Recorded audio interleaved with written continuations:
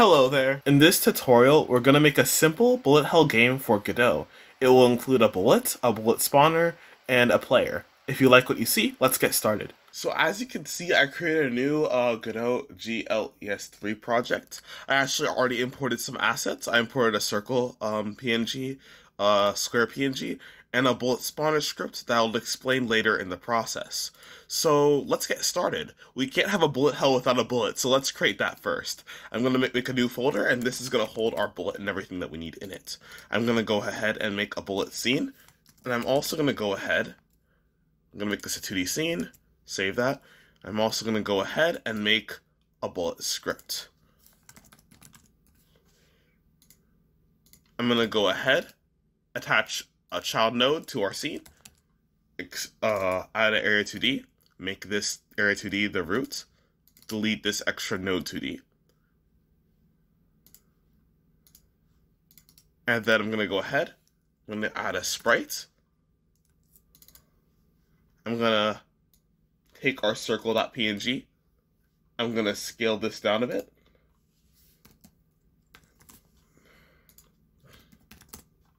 That's good and I'm gonna go ahead and recolor that so it's clear that this this item does damage. I'm gonna go ahead and add our collision. So a collision shape 2D. I'm gonna go ahead, make this a circle shape, and scale this circle shape down. Great, we should be good to go. I'm just gonna quickly attach our script, bullet.gd. Let's go to our bullet.gd script. So first we're gonna make this extend area 2D since um, this is uh, area 2D. Actually, I'm gonna go ahead and rename this this scene here to bullet. Rename this scene to bullet. There we go. But yeah. Okay, so we want to make some variables here. So we want to export a variable called speed. Let's set this to maybe 200. We want to export a um, a variable called lifetime, which is how long our bullet actually lasts. And and we're going to use our process function to actually edit the bullet. We're going to use our process function for that. So I'm going to go ahead and um, add a vector to our position. And this vector is actually going to be the velocity and we're going to get this velocity from the rotation. The rotation is not here in the export variables, however, it is included by default in the node settings in transform. As you can see, our rotation degree is right here. So I'm going to go ahead, I'm going to get the cosine of the rotation, basically the x of a rotation, the x vector, and I'm going to get the sine of our rotation. And actually, we don't need to do, we don't need to convert this to degrees, since this value actually gives us the rotation in degrees. Um, if I wanted to use rotation degrees, I would do rotation degrees, and then times this by pi, divide that by 180. But we're not using degrees, we're using radians, so we're actually fine. And also, since this is Godot, the y value is actually inverted, so I want to actually make this a negative sign. And now, if we go to test our bullet, let's say we want our rotation to be negative 45 degrees.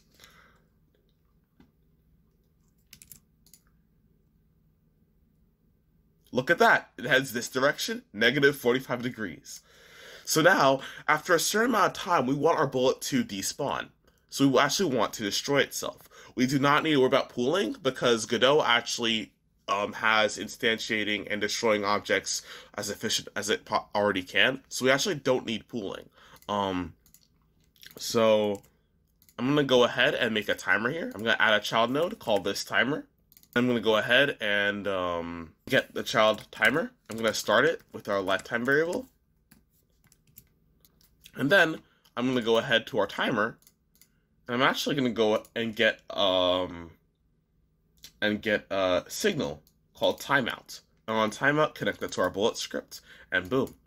And now on timer timeout, we know that the, the amount of uh, time has actually passed, so we can actually just destroy the object. We can do that by doing queue free. There we go. So, for example, I'm gonna I'm gonna do one second to test it.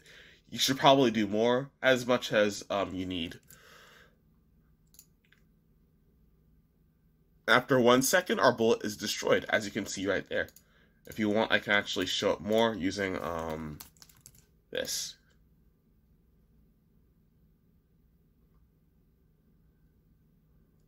Yep, it's destroyed after one second. Uh-huh, perfect. Oh, and I forgot, I forgot to add our speed and our lifetime. Eh, speed times delta. So you actually want to multiply this vector by speed times delta.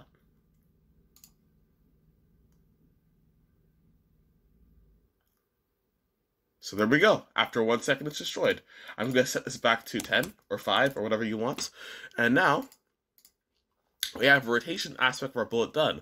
But what if we don't want to use rotation and we want to feed in a hard-coded velocity value instead?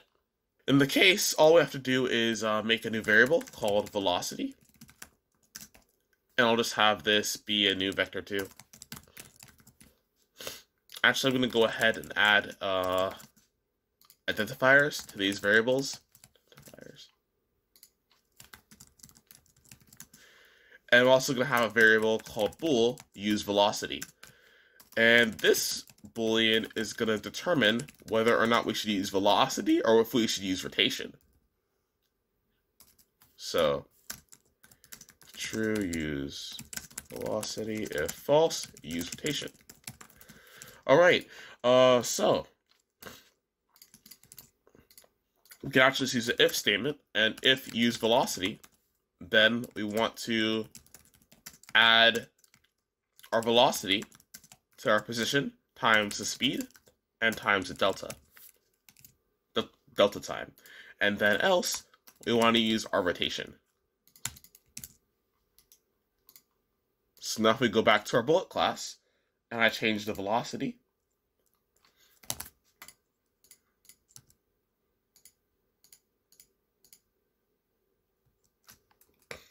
set this to on, boom, it goes in this direction. And actually, if you want to be more specific, you can normalize this velocity. So that's more accurate. And that you don't have strafing. There we go. Perfect. Alright, now that we have our bullet class done, let's actually go to our bullet spawner.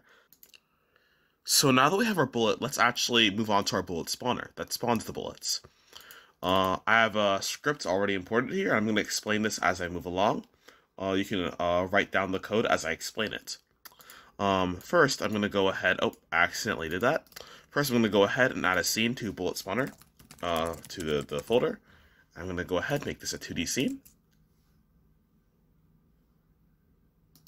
I'm going to go ahead rename this to bullet spawner. And then I'm gonna add a child node. No, I'm um, I'm gonna add a, attach a script. And I'm just gonna connect that script. And then I'm gonna go ahead. I'm gonna add a timer, actually. And then I'm gonna connect this timer with our node here, with our signal timer timeout. I'm gonna connect this to our bullet spawner, and that way this function here is connected, and so we can actually spawn bullets. So now I'm going to actually explain all this. So it basically extends a Node 2D or typical Node 2D. It, it, it um this bullet scene is basically the scene that we're going to use. So this scene is basically the scene that we're going to use to instantiate or spawn in the bullet. Um, this is our min rotation, our max rotation, and our bullet's rotation is going to be somewhere between our min and our max. Um, this is basically the amount of bullets that we're going to spawn in. Um, I'll explain this later. Um, this is basically whether or not the bullet is parented to our object, and this is whether or not the bullet is spawning is manual or automatically. If it's automatically, then the timer is actually going to handle it with its spawn rate. And if it's manual, then we're actually going to have to spawn it from a different script or extend this script here. Spawn rate is how fast the bullet's going to spawn if it's spawning automatically bullet speed is basically the speed of the bullet. Bullet velocity is the velocity. Bullet lifetime is the lifetime, and whether or not the bullet uses uses the velocity. Actually, all these variables are basically um, the same variables that we have in our bullet script, and these are actually set to our bullet script when our bullet is instantiated. This is basically an array of our rotations, and this is whether or not we want to log to the console or not. So on start, I basically set our timer wait time to our spawn rate, and then I start the timer. Um, so, and then basically, when our timer times out, or when our timer reaches, you know, uh, when our timer runs out, then if it's automatic or if it's not manual, then we want to spawn our bullets. And here we actually spawn our bullets. So if the bullet spawning is random, this is a boolean here, then we want random rotations. Else, we want distributed rotations. And all these are functions.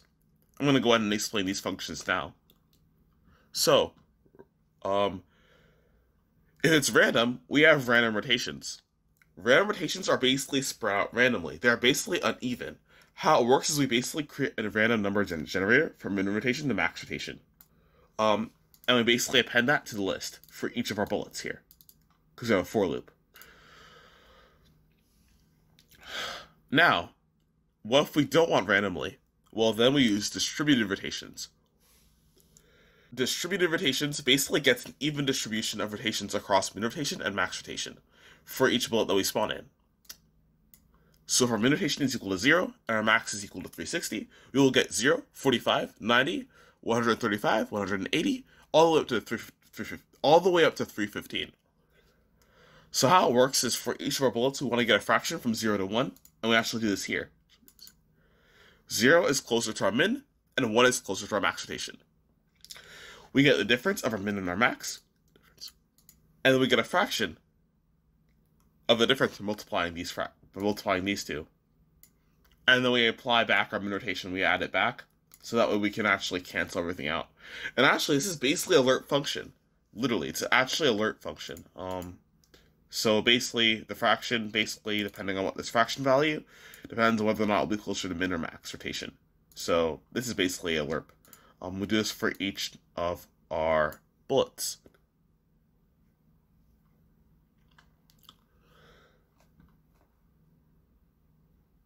So basically, for each of our bullets, we want to instantiate a bullet, so we instantiate our scene, we instance that scene, and then we add the bullet to our array here, spawn bullets.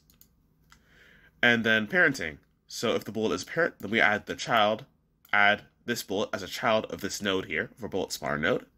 Else we get the root node and we add the child to our root node. And then remember when I mentioned applying fields? We actually apply these fields now.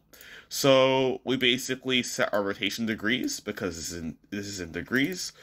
Uh, we set that to our uh, rotation that we generated from these scripts. So we actually generate uh, the rotations in these scripts and we apply them here. Then we set our bullet speed, our velocity, global position, use velocity, lifetime, and other fields that we might need on our bullets. Then we return the spawn bullets. And actually, I'm going to go ahead back to our 2D scene. I'm to just set our bullet scene, load our pack scene here, bullet scene, uh, set min max, um,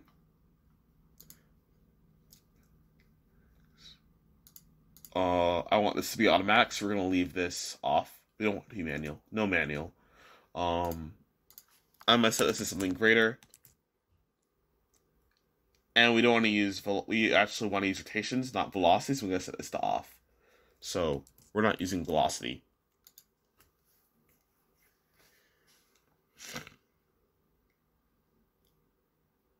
And there you go. Actually, I'm going to go ahead and actually bring this in the middle of the scene so you have a better visualization of everything.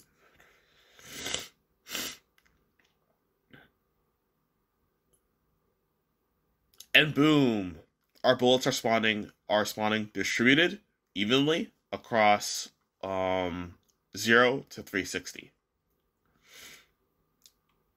Actually, if we want randomly instead, if we want to be random, we can do this. this.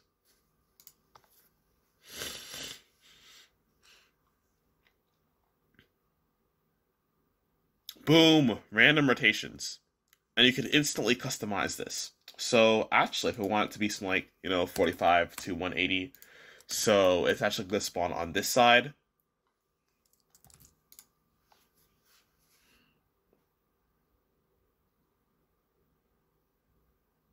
Boom. It spawns randomly from uh, 45 to 180. And so this looks better. I'm going to avoid using random rotations. I'm going to use distributed rotations. And boom! We have a nice uh, spray of bullets here on this side. And I can basically customize this however I would like to. If we want to, we can make our our bullet, we can actually make it, um, we can actually make our bullet, uh, faster. So we can actually do 500. Like if we want minigun style, we can do 400. If you want a minigun, we can make this a bit smaller, spawn rate, and then boom.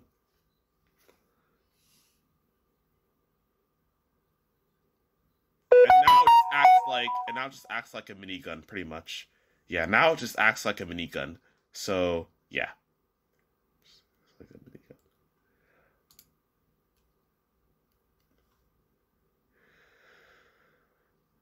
All right. So now that we have our bullet spawner, let's actually move on to improving the system and adding more onto the system. Um, yeah. All right, so we have our bullet and we have our bullet spawner. However, we don't have our player, and without our player, we actually do not have a game. So let's add our player. So I'm gonna go ahead. I'm gonna go ahead. Um, I'm gonna make a new folder. I'm gonna make a script called player.gd, and I'm going to make a scene called player. And this player is going to be a 2D scene. I'm going to make this player a kinematic body 2D. Then I'm going to go ahead and make this the roots. I'm going to delete the extra node that we do not need. And I'm going to add a sprite. I'm going to attach, I'm going to attach a square sprite or whatever sprite that you want to attach to your um, player. I'm going to go ahead and scale this real quick. Then I'm going to go and add a coll collision shape 2D. I'm going to go to the shape. I'm going to make this a rectangle shape 2D. And then I'm going to go to the animation player. So that way we can make an animation when the player gets hit. I'm going to make a new animation for when the player gets hit. And when the player gets hit, I want to modify the color property of the sprite. So I'm going to go to the sprite, I'm going to do modulate, because modulate is the color. I'm going to insert a key, and I'm going to make this red. And then I'm going to insert another key, make this white, and therefore this is going to last for 0.5 seconds. Therefore our player cooldown is going to be 0.5 seconds. So our player is going to get hit, and then our player is unable to get hit until the until the animation reaches this point. Now that we have added all the nodes that we need, um, actually I'm going to go ahead and rename this to player. Now that we add all the nodes that we need, let's go ahead and add our script, attach our script. I'm going to attach the player script, and I'm going to make this extend area 2D. Alright, now let's add all the variables that we will need for our script. I'm going to add a speed variable. Um, this is self-explanatory. It's basically the amount of speed for our player. Um, I'm to add our start HP and I'm also, which is basically the HP at the start. And then I'm going to add uh, onReady variable for HP, which is basically the current HP at any given moment. I'm going to make a variable for whether or not the player can actually take damage. And I'm also going to uh, make a variable to hold our animation player node that is here. Um, I'm going to make uh, some variables for clamping our player to the window. So if we want to clamp our player to the window borders, then we actually um, clamp it to the width and the height. Actually, I'm going to replace these real quickly. And these are basically the window borders. And you can actually get these settings by going to project settings and display, window, size, width, and height. And those directly correspond with the project settings. I will elaborate on that later. Um, we pretty much have everything, so let's go ahead and make a function for our physics process. Alright, so let's handle our input. So I'm going to handle uh, moving, I'm going to make a new variable called velocity. And this is going to derive or extend from a vector 2. And I'm going to control the X. So if we want to move our player left and right, what we want to do is we want to use these input functions. Then we can also make our player move on the Y-axis by controlling our velocity Y.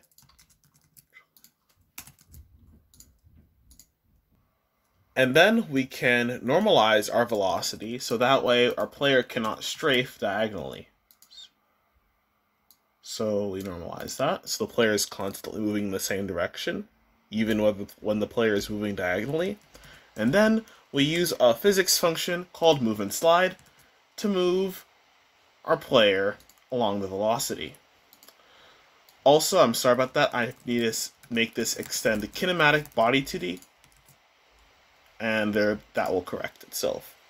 So now we have the entirety of our input done. Now we can clamp our function, our position. So if we clamp the player to our screen borders, then we will pass, uh, we will pass a clamp value to our position x, and we'll make sure our position x is between zero and the width of our window. And the same for our position y, we'll make sure it's between between zero and our window height. Actually, I'm going to go ahead and make this global position, since that's going to be way more accurate. I'm going to use global position. I'm just going to add that to each one now. And that's probably going to be a bit more accurate. Okay, so we can move, but our, we also need to make sure we can also take damage. So I'm going to go ahead, we have a function for taking damage. So if the player can take damage, then we're gonna decrease our HP, and then we're gonna run our animation player dot play hits, the same animation that we made earlier here in our animation player.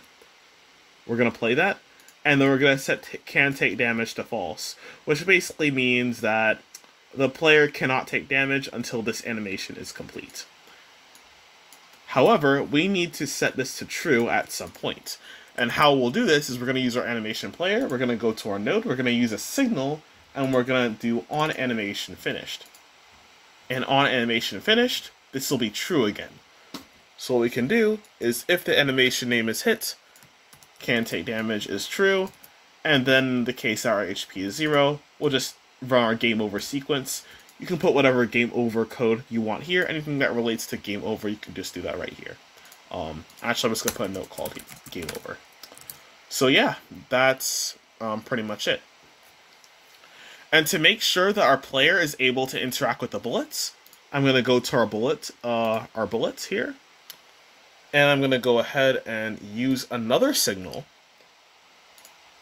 in our bullet on body entered. Um, I'm going to disconnect that. We, we want to use on body entered connect that to our bullet. And then, if the body name is player, then we'll just make that body take damage. So if it's the player, then we make the player take damage because the player hit the bullet. Um, yep. Everything should be done now. I'm going to go ahead and make a quick scene. One for game, one for our game, and one for game over.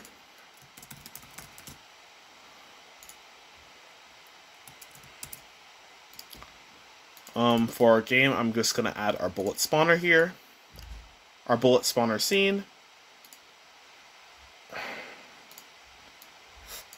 And then I'm going to add our player.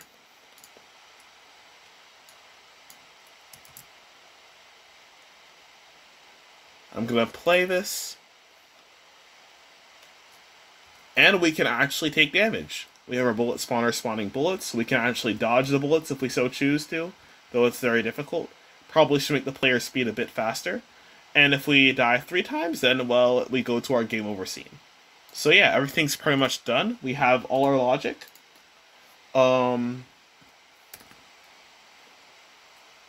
I'm going to increase my player speed, make this not a child of bullet spawner, and go ahead and do that.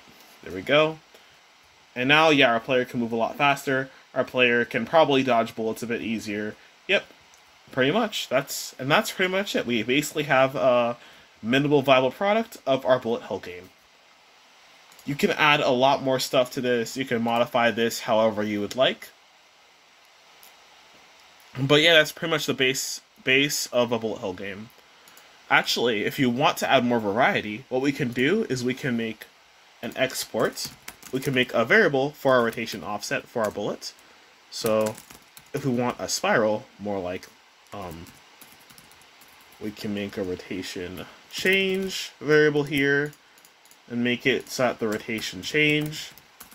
The rotation changes by rotation change times delta. And I'm going to pass in rotation degrees because this is in rotation degrees. Um, and now, if we set our bullet, if we go on our bullet resource, if we go on our bullet resource here, um, and we set our bullet resource to rotation changes like 45 degrees, head back to our game.